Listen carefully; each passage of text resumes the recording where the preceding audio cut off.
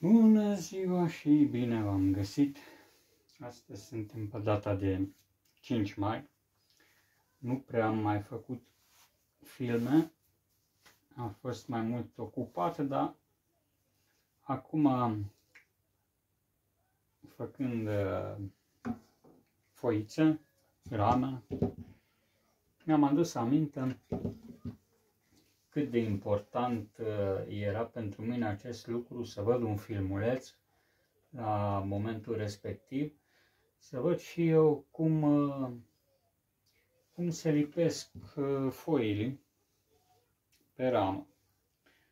Păi, în primul rând, avem nevoie de un redresor sau un transformator reglabil. Aici se poate regla, sper să se vadă, da, cred că se vede. Aici se poate regla temperatura de lucru.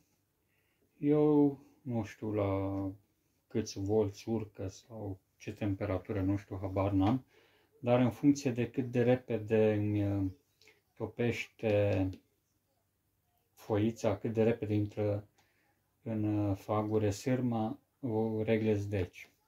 Pentru fagurii care am eu, în funcție de parafina care o conțin, uh, e setat așa mai mic. Deci avem nevoie de un aparat din acesta sau alt tip, uh, se găsește pe piață. Pe piață, după ce găsiți aparatul, o să vină cu doi clești din aceștia. Vedeți, eu l-am uh, L-am scos afară pur și simplu, el era lipit aici, eu l-am desfăcut. Nu mă ajută cu nimic acea clește. În schimb, la al doilea, am lăsat cleștele pentru că am nevoie să prind acest ac.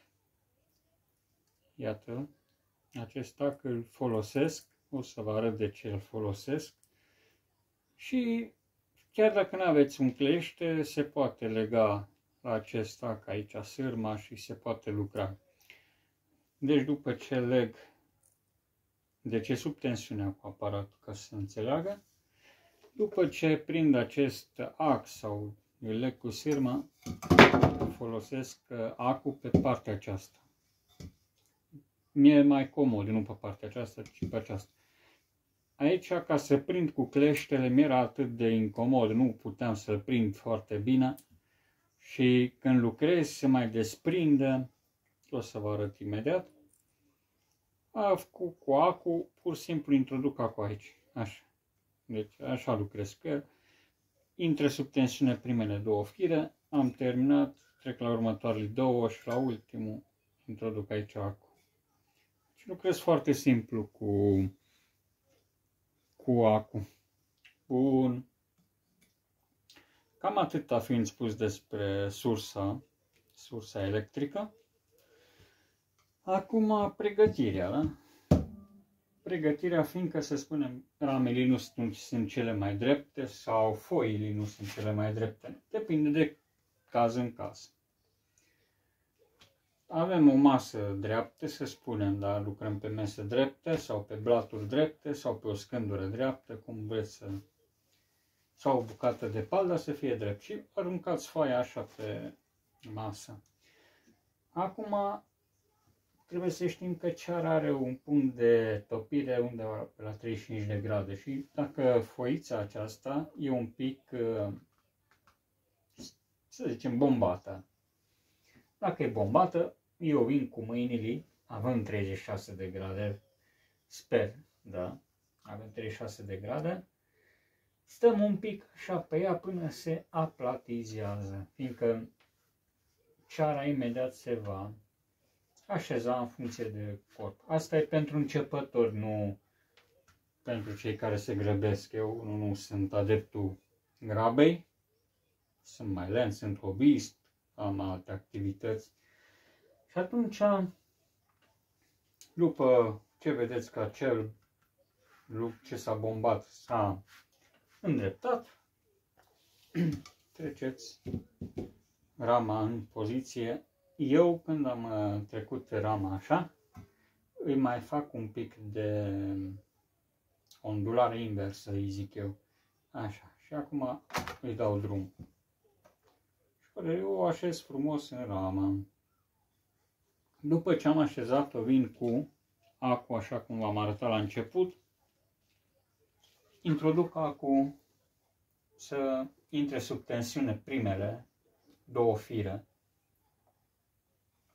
Primele două fire, firul 1, firul 2, având 5 fire. Și dăm un pic de curent la primul fir, foarte puțin, atât cât să ne mulțumească să intre. Când ați văzut că a străpuns sârma, mai țineți un pic să se răcească ceara și puteți să-i dați drumul. După aia trecem la al doilea fir. La fel. Asta e pentru începători, nu cei care se grăbesc și fac mii de foi acolo se schimbă situația, fiindcă nu contează dacă strici 2-3 faguri. Dacă când ai uh, numai 30 de rame de făcut, atunci te doare inima să strici un, o foaie, să o tai. Așa că aici ești un pic mai precaut și așa fir cu fir. Iată așa frumos. Foarte puțin trebuie, cât să vedeți străpungerea. Eu consider că acest faguri au mai multă parafină, fiindcă foarte ușor uh, străpung cu o tensiune mică. Dar important este să nu-i stricăm noi, adică să nu-i tăiem. Iată așa. Foarte ușor. Și la sfârșit o să avem un rezultat foarte bun. Iată, trecem și la ultima. Atâta să aveți grijă să nu uitați să mutați acul.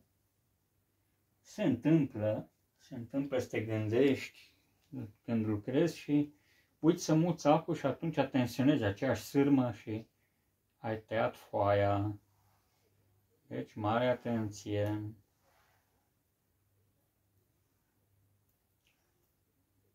Cam asta e tot. Astfel am obținut o, o ramă gata de băgat la albinuțe să o construiască.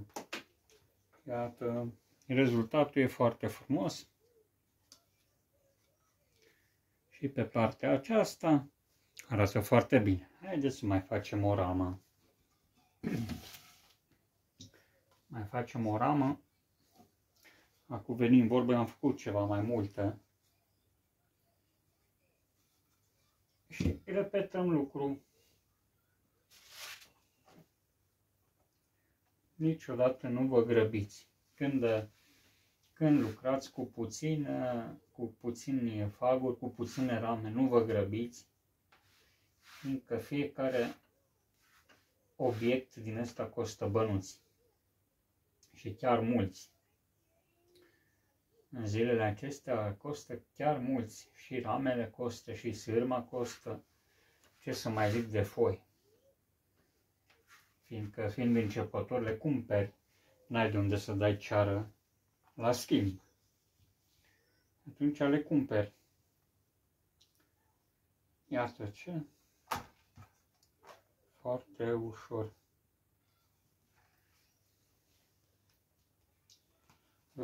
La prima ramă mi-a fost atât de frică, că îmi tremura mâinile când uh, lipeam și de frica aceea, ca să nu o stric, tocmai de aceea am stricat-o. Deci când ți-e frică, atunci nu scapi. Trebuie să lucrezi relaxat,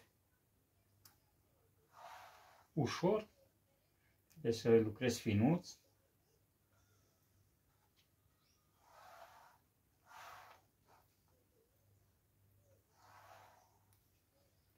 Vreau să vă zic, cei care mă urmăriți mai de mult, am uh, continuat și anul acesta cu acidul oxalic, cu benzilin.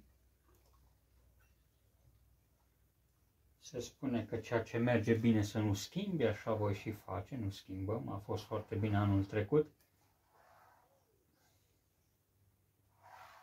Iată, foarte frumos se face. Ușor, nicio grabă, da? Fără nicio grabă.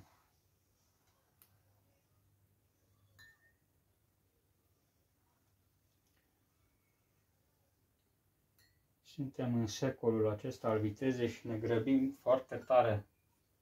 Nu ne ajunge timpul. Uh, am încercat să învăț pe băiatul meu că timpul nu trece nici repede, nici încet. Timpul este constant. Așa, așa că noi decidem ce facem în acel timp și în funcție de cât de neocupat ne este mintea, așa ne trece repede sau încet timp. Dacă ne plictisim, de exemplu, așteptăm un tren, timpul va trece foarte încet. Dar dacă ne place ceva și jucăm un Counter-Strike sau un FIFA, atunci timpul zboară. Te pui dimineața la calculator și până seara nici nu știi, zici că a trecut o oră. Bun, cam atât am vrut să vă prezint, asta pentru începători. Sper să vă fie cu folos, să aveți sănătate și putere de muncă. Numai bine!